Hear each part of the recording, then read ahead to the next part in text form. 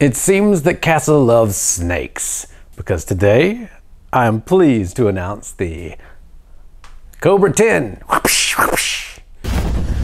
I had to look at it. and like, ooh, which one? So the Cobra 10, it's not exactly new news, but I was part of the beta program and now I would like to talk about some of my findings, what they did to improve it, and what this thing is all about.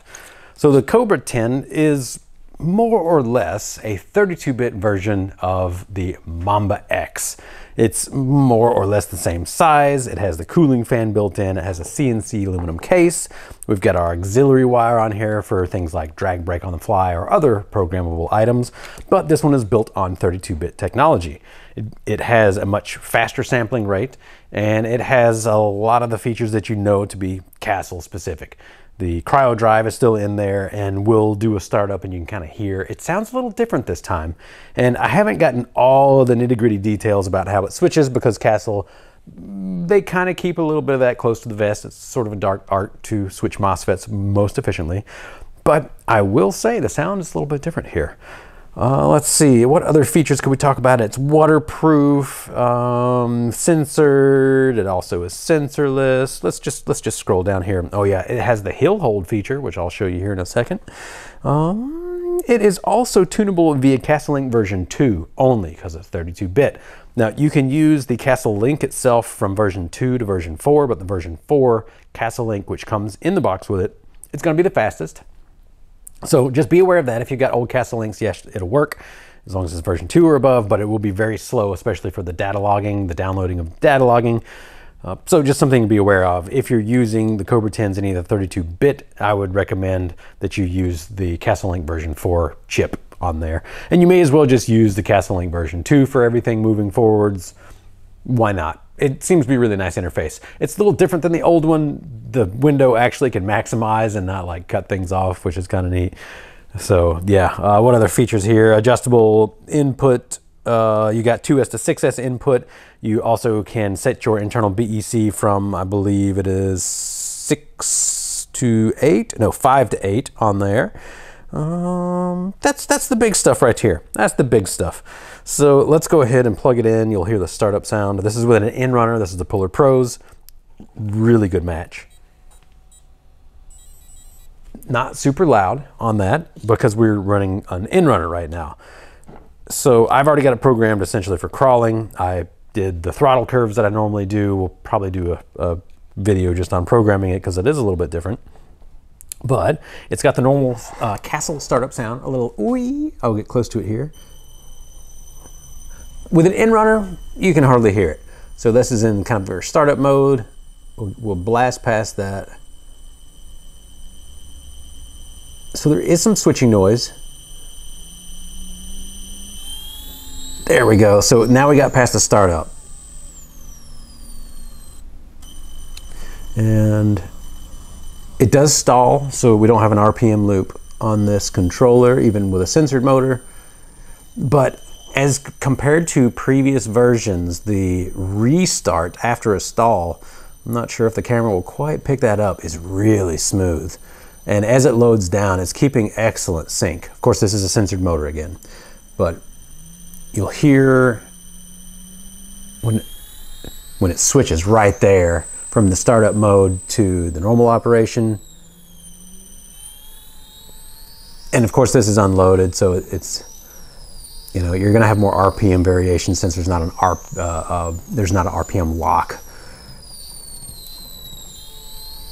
I kind of like the, I kind of like the UFO sound. And once you get into an RPM range that's above the startup, it gets very quiet. Now we got pretty much commutation frequencies that you can hear standard Castle controller. All right, so there is the hill hold mode, which you can select in your programming, and it makes it where the shaft doesn't just free roll. You can set your level of it. So it's got, I think like five levels or six levels. I'd have to have it in front of me to remember and I believe I have it on medium right now. And the adjustment is something that they actually didn't have in beta and they put it into their major release when they released these. And that's a really good thing because it scales with the voltage. So the higher the voltage that I'm running, the more amps that it pulls. on something like an 1800 revolver, the hill hold mode.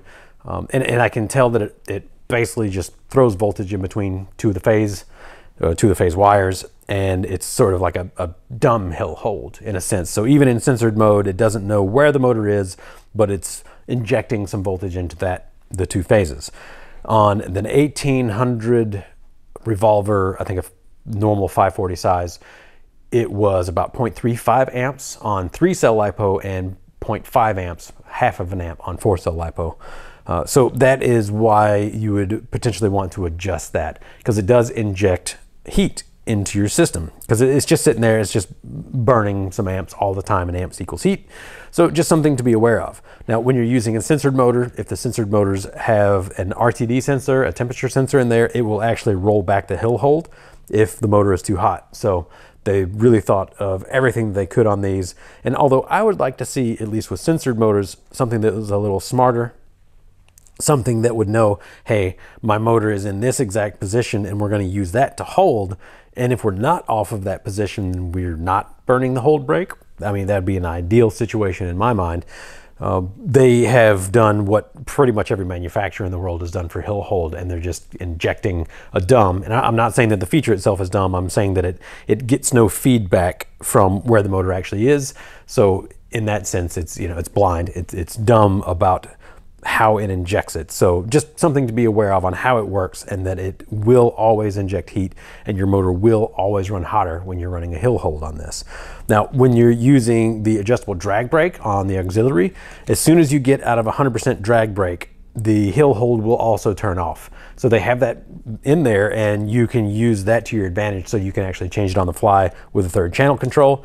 So run it at like, let's say 99% uh, all the time when you don't want hill hold. And then when you do want hill hold, pop it up to 100% hill hold pops back on and you're not gonna get any free coasting as long as you have it set strong enough. And then you're also not gonna get general heat buildup unless you want it to hold on the hill. Uh, the adjustable drag brake on the fly is really nice. You can get onto a hill, then kind of uh, roll it down a little bit and it will let your rig slide down. And then when you want it to stop, you just go right back up and we are good to go.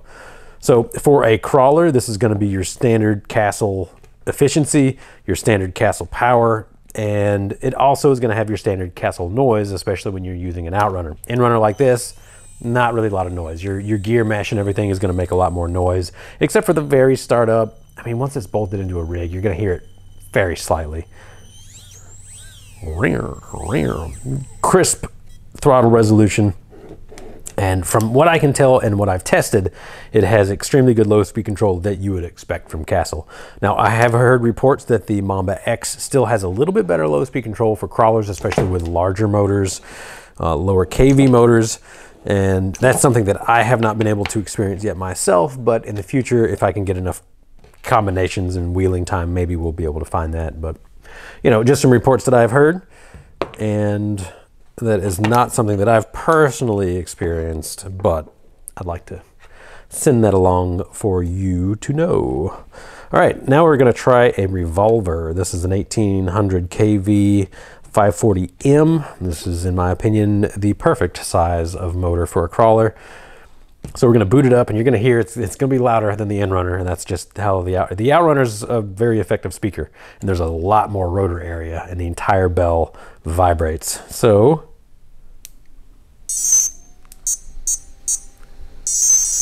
I kind of like the new startup sound. It's still essentially the Castle startup sound, but it's kind of like it's, it's got a crispness to it, a, a oomph, if you will, that I really like. So the hill hold mode is turned on. It feels essentially like our motor is shorted down. I don't have it turned up very much, uh, but it, it is definitely keeping our motor from spinning at low RPMs before a normal drag brake would kick in. Um, with the Outrunners especially, you have to be careful about how high you're turning your hill hold up because there is not the temperature sensor feedback on it, so it doesn't know to throttle back or to remove the hold if your motor's overheating. And also for any given KV and size of motor, you're gonna have a much lower resistance. So your hill hold is gonna pull more amps on a, something like a revolver than it is an Inrunner of the same sort of heft. Uh, so this has a 16 millimeter long stator, a normal 540, in runner is going to have a 15 millimeter long stator. So KV for KV, the revolver is going to pull more in hill hold mode and it's going to have a lot more hill hold too. You may even, you, you may not even need to use hill hold with something like a revolver, but you can't hear this, but it, it is obvious that it is powering one phase in hill hold. It kind of, it's kind of skipping through and, and maybe you can see on camera. It, it goes chunk, chunk, chunk. So it's, um, kind of like every other position is where the hill hold is enabled. So I'm going to try to not hurt myself spinning this up. Spinning up outrunners in your hand is never a good idea, but you'll be able to hear this castle startup that is very typical. It's a lot louder with outrunners, but it's got really good authority on startup. It just goes. It's not like some of the older ones where it kind of like oi oi oi tries to start it up. It either does or it doesn't of course, I can get it locked into a position to where it, it also will stick. Give it a little bit more throttle.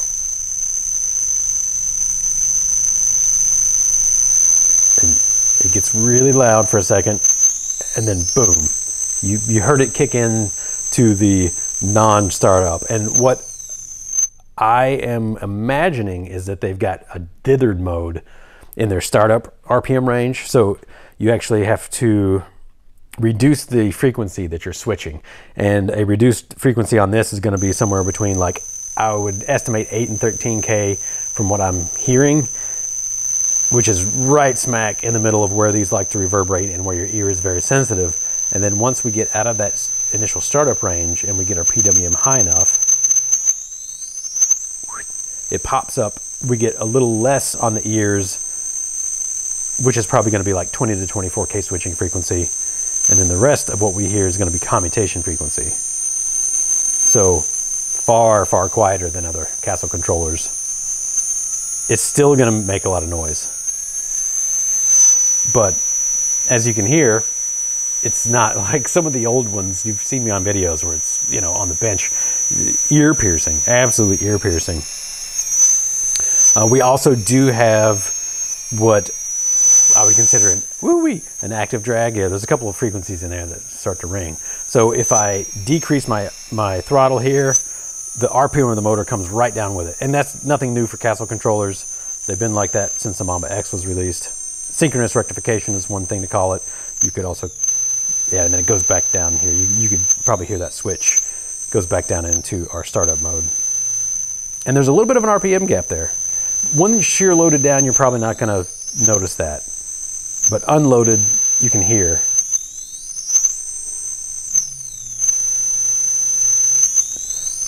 There's nothing in between as far as my ability to modulate. And in a crawler, you you may notice that. In a normal vehicle, a basher, etc., you're not going to notice it. Let's hear that startup or, or the, uh, the, the arming once more. I just kind of like the, the crispness of this.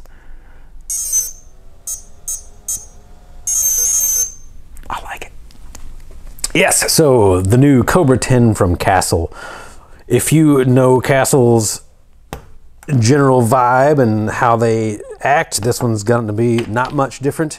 Although that little space in between the startup frequency and the normal operating frequency, you, you may notice that in a crawler. Um, honestly, I've gone to other controllers for my outrunners just because they tend to be a little bit more quiet and they have that RPM lock at low RPMs. So it's not something you're probably gonna see me crawling with much, but we will definitely go out on the rocks and I will show you how it performs in our next video. If you wanna see it installed in anything particular that I've got, let me know. I'm probably gonna throw it into something like a Vanquish rig. Um, I'm not sure which, or the Element Enduro. That's always a great one. So yeah, we'll, we'll just do that. If you do have any questions about the Cobra 10, put your comments down below. We'll do our best to get to them. And in the meantime, thanks for tuning in. Have a great day.